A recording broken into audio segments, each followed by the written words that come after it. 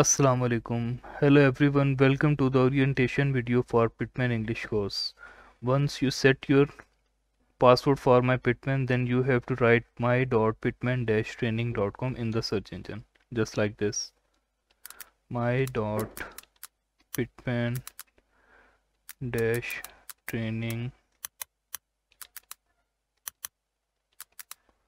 dot com इस तरह का इंटरफेस आ जाएगा कैनवस का। आपने यहाँ पे अपना रजिस्ट्रेशन नंबर जो यूनिवर्सिटी की तरफ़ से आपको ईमेल एड्रेस इशू हुई है, आपने वो टाइप करनी है। सपोज़ एक स्टूडेंट की ईमेल एड्रेस ये है twenty twenty S dash M U L M P L dash echo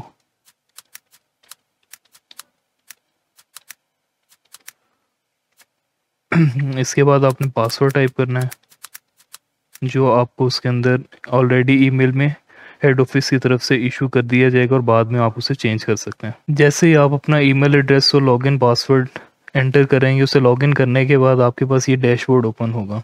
यहाँ पे सबसे पहले आपको ग्रीन कलर का ऑप्शन शो हो रहा होगा एक्सेप्ट का। ये इनविटेशन होता है हेड ऑफ़िस की तरफ़ से जिसको, जिस स्टूडेंट को अपना कोर्स लॉट होने लगता है या उनकी रजिस्ट्रेशन स्टार्ट हो चुकी होती है हेड ऑफ़िस से तो उसे ये इनविटेशन आता है। इसे आपने एक्सेप्ट करना होता है हर हाल में। ये मैंडेटरी है। इसके बगैर आपको कोर्स जो है वो अलॉट नहीं होगा। अगर आप इसे if any student in case decline कर देते हैं तो आपका कोर्स इनएक्टिव हो जाएगा और आपके कोर्सेज में कोर्स अलॉट हुआ हुआ वो डिसेबल हो जाएगा। आप उसे एक्सेस नहीं कर पाएँगे और उसे एक्सेस करने के लिए आपको हेड ऑफ़िस दोबारा अपनी रिक्वेस्ट भेजनी पड़ती है। पूरा प्रोसेस है और वो एक दो हफ़्ते का टाइम ले जाते हैं और सम केसेस में वो चार पाँच हज़ार के कुछ इस तरह के इश्यूज़ होते हैं उनके। तो इससे बेहतर है आप अपना एक्सेप्ट करें। कुछ स्टूडेंट्स जो हैं वो इसे जान बूझ के डिक्लाइन कर देते हैं। तो लास्ट टाइम भी इस तरह की काफ़ी प्रैक्टिस वगैरह हुई है, इसे एक्सेप्ट करने के बाद आपका कोर्स एक्टिव हो जाएगा और आपको कोर्सेज में शो होने लग जाएगा। इनविटेशन का इस तरह एक्सेप्टेड का आ जाएगा और यहाँ पे आपको कोर्सेज पे जब क्लिक करेंगे, वहाँ पे आपको कोर्स होगा। इस तरह का इंटरफेस शो होगा, उसे क्लिक करने के बाद पिटमैन इंग्लिश को। आपने इसे स्क्रोल डाउन करना है, आपने योर कोर्सेज में जाना है दिस वन और यहाँ पे योर पिटमैन इंग्लिश कोर्स पे क्लिक करेंगे नेक्स्ट विंडो होगी। इसमें आपने इसके ऊपर क्लिक कर देना load your Pitman English course अच्छा जैसे ही आप उसके ऊपर लोड योर प्रोग्राम जो भी है कोर्सेज पे क्लिक करेंगे तो आपके पास ये नेक्स्ट इस तरह का वॉक्सी इंटरफेस ओपन होगा। यहाँ पे आपको अगेन जो है अपना पासवर्ड टाइप करना होगा। कोशिश ये करना कि जो आपने इनिशियल आपने सेट किए हैं फाइनल यहाँ पे भी वही रखें ताकि आपको याद रखना इजी हो जाए। और यहाँ पे सेल फ़ोन नंबर का भी ऑप्शन है। आ, वो ज़रूरी नहीं है मैंडेटरी नहीं है उसे रहने दें। अपना सेम पासवर्ड यहाँ पे लॉगिन करने के बाद आप एक्सेस कर सकते हैं। पासवर्ड लिखने के बाद सेम आप सबमिट कर दें।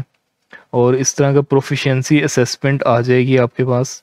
और इसे एक्सेप्ट करना ज़रूरी होगा क्योंकि बैक एंड पे जो स्टोरी है इनकी पिटमैन इंग्लिश की, वो ये है कि ये जो सॉफ्टवेयर है इनका, ये as as an intelligence artificial intelligence के तौर पे काम कर रहा होता है। इसका फ़ंक्शन ये होता है कि आपने अपना टेस्ट जो है, वो आपको एक्सेस कर रहा होता है। कि आपका इनिशियल लेवल अगर इंटरमीडिएट है तो वो आपकी एक्सरसाइजेज जो होंगी हाई इंटरमीडिएट या हाई बिगनर से स्टार्ट करेगा।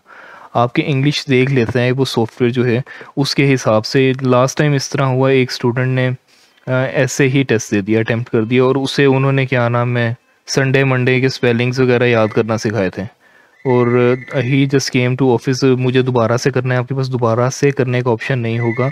अगर आप इस तरह का कुछ करते हैं और आपको दोबारा से करना होगा तो आपको उसकी कॉस्ट बियर करनी पड़ेगी। प्रोफिशेंसी असेसमेंट पे इस तरह के ऑप्शंस होंगे। आपने नो इंग्लिश नहीं चूज़ करना। उसकी रीज़न ये है कि अगर आप नो इंग्लिश चूज़ करते हैं तो आपकी जो असेसमेंट होगी वो बिल्कुल ही बिगनर लेवल पे होगी। मतलब मंथ्स के नेम आ, या आपको ईयर्स के नेम उनके स्पेलिंग्स वगैरह पूछ रहे होंगे, इस तरह की कुछ चीज़ें होती हैं तो उसका फ़ायदा नहीं है। ये इसलिए उन्होंने रखा हुआ है कि अगर क्या नाम टेंथ क्लास से टेंथ स्टैंडर्ड से नीचे कोई स्टूडेंट है, या फिफ्थ स्टैंडर्ड से नीचे he want to do he और she wants to do this course तो उनके लिए होता है कि वो चलो एक्सरसाइजेस वगैरह अच्छे तरीके से कर सकें। तो आप कोशिश करें कि अगर आपकी इंग्लिश जानते हैं तो आई नो सम इंग्लिश पे क्लिक कर लें, ताकि आपका जो टेस्ट हो वो बेहतर तरीके से हो सके। उसमें उसी उसी टेस्ट को बेस उसके रिजल्ट्स जो होंगे, वो बेस बनाते हुए आगे थोड़ा आपके जो एक्सरसाइजेज वगैरह होंगी, वो उसी के अकॉर्डिंग होंगी।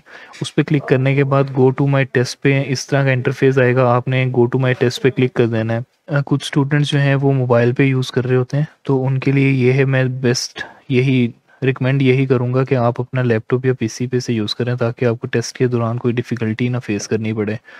और अगर कोई इन केस किसी के पास नहीं है, वो मोबाइल पे यूज़ कर रहे हैं तो कॉर्नर में राइट कॉर्नर में ना सबसे ऊपर थ्री डॉट्स या थ्री लाइंस होंगे। उसके ऊपर उसने क्लिक करना है तो वहाँ पे एक ऑप्शन होगा डेस्कटॉप साइट उसे आपने चेक कर देना है। जैसे उस पर क्लिक करेंगे, आपके मोबाइल की स्क्रीन जो है वो डेस्कटॉप व्यू में कन्वर्ट हो जाएगी।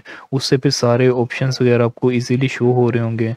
अगर आप उस पर कन्वर्ट नहीं करोगे, आप इसे स्क्रोल डाउन वगैरह नहीं कर सकोगे स्क्रीन को। इसलिए उसे डेस्कटॉप साइट पे कन्वर्ट कर लीजिएगा। और उसके बाद आपने इस तरह का इंटरफेस होगा गो टू माई टेस्ट पे क्लिक करना है। और प्रोफिशेंसी टेस्ट इसमें होता है, उसमें ग्रामर के कुछ क्वेश्चंस होते हैं। लिसनिंग के क्वेश्चन होते हैं, उनकी उन्होंने क्वान्टिटी लिख दी है कितने क्वेश्चन और रीडिंग के। आपने टेस्ट माई लेवल पर क्लिक कर देना है। तो ये तकरीबन आधा घंटा लेते हैं, यानी कि इनका टाइमर इतना है, लेकिन स्टूडेंट्स जो हैं बीस पच्चीस मिनट में इसे कर लेते हैं। टेस्ट माई लेवल पे जैसे आप क्लिक करेंगे प्रोफिशेंसी असेसमेंट आ जाएगी ग्रामर एक्टिविटीज़ के कुछ होते हैं और कुछ क्वेश्चन वगैरह इस तरह के होंगे। आप इसे स्टार्ट पे क्लिक कर दें और उससे आगे प्रोसेस स्टार्ट हो जाता है। ग्रामर से होंगे लिसनिंग रीडिंग इस तरह की एक्टिविटीज़ होंगी तो इसे मैं फिर यहाँ पे आपसे कहूँगा कि इसे अच्छे तरीके से क्वेश्चंस को अटेम्प्ट कीजिएगा ताकि आपको उसका आगे फ़ायदा हो। आर्टिफिशियल इंटेलिजेंस ने प्रोग्राम ने आपके मार्क्स के अकॉर्डिंग इस असेसमेंट के अकॉर्डिंग ही अगले थ्री मंथ्स का आपका स्केड्यूल सेट करना है। अगर आप अच्छे तरीके से इसे फ़ायदा ही कोई नहीं होगा। ए बी सी डी सीखनी है दोबारा से इस लेवल पे आके। अच्छे तरीके से दें ताकि आपको फ़ायदा हो इस चीज़ का। आ, कुछ क्वेश्चंस होंगे आपने यहाँ से ड्रैग आउट करने हैं क्वेश्चन ठीक है यहाँ से सिंपल जो आंसर है उसके ऊपर क्लिक करना है माउस से राइट क्लिक को उसे और उसे ही कर्सर को आपने फिल इन द ब्लैंक्स पे ले जाना है। तो ये ऑटोमेटिकली फिल हो जाएँगे। नेक्स्ट रीडिंग की असेसमेंट होती है कुछ इस तरह के क्वेश्चंस होंगे आपने उसे वो वीडियो प्ले हो रही होगी आपने उसे देखना है। और क्या नाम है वीडियो को सुनना है। ऑडियो को सुनना है वीडियो को देखने और जो वो चीज़ रिकमेंड कर रहे हो आस कर रहे हो, आपने वो चीज़ वहाँ से या तो टाइप करने का कुछ ऑप्शन होता है या ड्रैग आउट करने का ड्रैग इन इस तरह के ऑप्शंस होंगे डिफरेंट तो वो देख लीजिएगा। उसके बाद आपका जब टेस्ट ख़त्म हो जाता है तो इस तरह की आपको उसी वक्त उसके स्कोर्स पता चल जाते हैं कि आपका लेवल प्रोफिशेंसी जो है, उसका इंग्लिश प्रोफिशेंसी लेवल क्या है। आपने ग्रामर में कितना स्कोर लिया अचीव किया है रीडिंग में कितना लिसनिंग में किस तरह।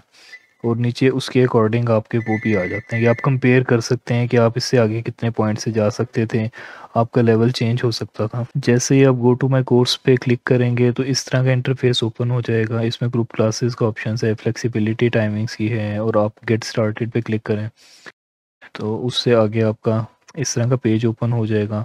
ये कुछ इंफॉर्मेशंस होती हैं जो हेड ऑफ़िस रिक्वायर्ड करता है। आपने इन्हें सही से फिल कर देना। पाकिस्तान लिखते हैं, एज रेंज इसमें बतानी होती है, आपने आपकी क्या है सपोज़ मेरी twenty six to twenty nine है तो मैं ये कर देता हूँ। और आप लैंग्वेज जो है, ये कितने अरसे से, सीख रहे हैं? इस तरह के डिफरेंट वो होंगे क्वेश्चंस आप इस तरह अपनी इंटरेस्ट के अकॉर्डिंग जो है उसे चूज़ कर लें, जो भी आपको इजी लगे या आपका इंटरेस्ट जिसमें हो। क्योंकि इसका भी एक लॉजिक ये है कि आगे जो आपकी एक्सरसाइजेज वगैरह होंगी, वो इन्हीं पे बेस कर रही होती हैं। तो अच्छे इंटरेस्ट के अकॉर्डिंग करें ताकि आपकी एक्टिविटीज़ आपके इंटरेस्ट के अकॉर्डिंग आपका दिल लगे इस काम में। आप बोर ना हो। और यहाँ पे पर्सनल गोल्स जो होते हैं, इसके अंदर वो I want to use English for work आपने जिस पर्पज़ के लिए करना है, उसे चूज़ कर लें। कुछ भी कर सकते हैं, उसके बाद कंटिन्यू पे क्लिक कर लें। इन्हें चेक करना लाजमी होता है। सपोज़ मैं ये यूज़ करता हूँ यूज़ इंग्लिश चूज़ करता हूँ use English for daily life तो उसके अंदर भी फिर डिफरेंट ऑप्शंस हैं कि मैं अपने इंटरेस्ट के अकॉर्डिंग एक्सप्लोर करना चाह रहा हूँ नेविगेट स्कूल्स एंड क्या नाम एजुकेशन सिस्टम है कुछ इस तरह ऑर्डर फ़ूड इट उसके बाद आप कुछ भी चूज़ करके इसे नेक्स्ट कर दें। एंड में आपका इंटरेस्ट आ जाता है, ये सबसे इम्पोर्टेंट चीज़ है। वो इस वजह से कि आपने अपने इंटरेस्ट के अकॉर्डिंग इन चीज़ों को चूज़ करना मतलब आपका इंटरेस्ट स्पोर्ट्स में है, आप स्पोर्ट्स चूज़ कर लें तो आपकी एक्टिविटीज़ जितनी आगे आएँगी क्वेश्चंस वगैरह रीडिंग लिसनिंग की एक्टिविटीज़ होंगी, वो इन्हीं से रिलेटेड होंगे। इंटरेस्ट में आप चूज़ करेंगे इंटरेस्ट में वो आपको ईजी होगा, आपको चीज़ों का ना इन्फॉर्म ये एक चीज़ का आपको पता ही नहीं है आप उसे चूज़ कर लेंगे, भाई मैं इकोनॉमिक्स का हूँ तो मैं इंजीनियरिंग वाला सॉफ्टवेयर इंजीनियरिंग चूज़ कर लूँ तो मुझे उन चीज़ों का आइडिया ही नहीं है। तो आप अपने इंटरेस्ट के अकॉर्डिंग करें, ताकि आपको चीज़ें अंडरस्टैंड करना ईजी हो जाए और आप अच्छा कर सकें। उसके बाद नेक्स्ट जाएँगे तो personal personalising your learning experience इस तरह के ऑप्शंस होंगे, उन्हें चूज़ कर दें इसमें सारा होगा कि आपने फ़र्स्ट जो लेवल आपने दिया था असेसमेंट दी थी, उसमें आपका लेवल क्या है। स्टार्ट नाउ पे क्लिक करें। तो इस तरह का आपका इंटरफेस हो जाएगा। और उस पर आपका फ़र्स्ट असेसमेंट का जो है इनिशियल आपने दिया टेस्ट उसका लेवल भी राइट साइड पे शो हो रहा होगा। और आपने डिफरेंट ये कैटलॉग्स हैं, इसमें प्रैक्टिस के लिए लाइव इंस्ट्रक्शंस हैं। आप डिफरेंट वो अपने उसके अकॉर्डिंग से यूज़ कीजिएगा अच्छी चीज़ है। ऐसे ही जैसे है माई यूनिट्स हैं, इसमें फ़ूड एंड ड्रिंक्स हैं meetings and conference getting around ये आप चू चेंज भी कर सकते हैं, इन्हें अपने टेस्ट के अकॉर्डिंग चूज़ कर सकते हैं। कैटलॉग में इनके डिफरेंट कोर्सेज़ के बारे में इंफॉर्मेशन दी हुई है। आप इसे वैसे रीड कर सकते हैं चीज़ों को कि इनकी और कौन कौन सी प्रोडक्ट जो ये सेल आउट करते हैं स्टूडेंट्स को।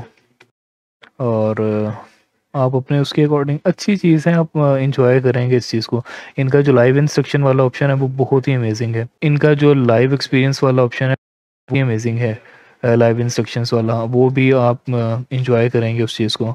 और जब ये इस तरह का होगा, आपने यहाँ पे बॉटम में ब्लू कलर में लिखा हुआ है स्टार्ट दिस लेसन इस पर क्लिक करेंगे, आपकी एक्टिविटी स्टार्ट हो जाएँगी।